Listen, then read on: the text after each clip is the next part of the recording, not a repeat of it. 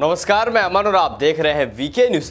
40 साल की मुस्लिम महिला 10 साल में 25 मर्दों के साथ घर से भाग गई और हर बार लौटने पर शोहर कर लेता कबूल। अब आप सोच रहे होंगे कि भैया, ये कैसी लड़की है या फिर कहें, ये कैसी मुस्लिम महिला है जो हमेशा भागती है और जब घर आती है तो शोहर भी उसे कबूल कर लेता है। जी हाँ ये घटना सुनकर आप हैरान रह जाएँगे। हैरान करने वाली ये घटना असम के नगांव की है। महिला ढिंग की रहने वाली है। मीडिया रिपोर्ट के मुताबिक आखिरी बार जब अपने घर से भागी थी तो अपने तीन महीने के बच्चे को पड़ोसी के घर पर छोड़ गई थी। हर बार वापस लौटने पर शोहर उसे स्वीकार कर लेता। भागने के बाद वह जब भी वापस आती तो दोबारा ऐसा नहीं करने का वादा करती। लेकिन बाद में फिर भाग जाती। रिपोर्ट के मुताबिक महिला के तीन बच्चे हैं। इनमें सबसे छोटा केवल तीन महीने का है। अभी हाल ही में वो अपने ही गाँव के एक व्यक्ति के साथ भाग गई थी। घर से भागते वक्त उसने अपने तीन महीने के बच्चे को पड़ोस के घर छोड़ दिया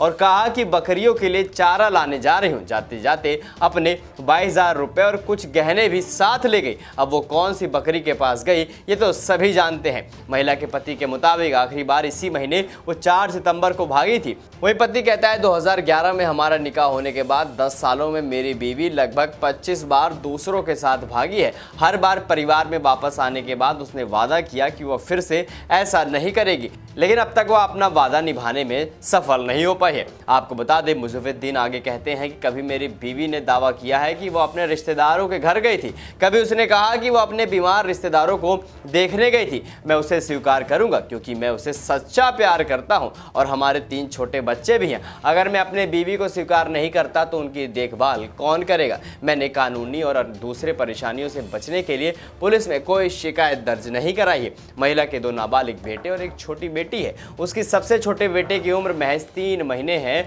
और सबसे बड़े बच्चे की उम्र छः साल। उसका दूसरा बेटा तीन साल का है। मुस्लिम बहुल सुदर ढिंग लहकार गाँव में पड़ोसियों के मुताबिक महिला के गाँव के कई युवक से उसके अवैध संबंधी हैं और वह अलग अलग प्रेमियों के साथ भाग जाती है। बाद में कुछ हफ़्ते या महीनों बाद घर वापसी आती है और कहती है, अल्लाह की बोलना, मेरी गलती हो गई थी और मुझे फिर से रख लो। और पति जी भी महान है, उसे बार बार कबूल कर लेते हैं।